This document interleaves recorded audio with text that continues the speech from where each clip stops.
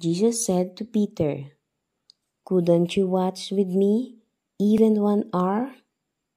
Keep watch and pray, so that you will not give in to temptation. For the spirit is willing, but the body is weak. Then Jesus left them a second time and prayed, My Father, Abba. Matthew 26, 40 to 45. Could you not watch one hour with me? Not for an hour of activity did he plead, but for an hour of companionship.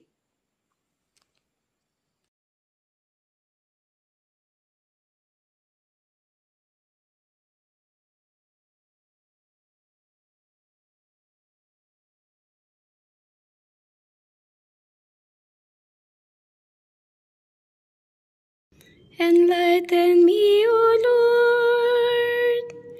Lead me to right path.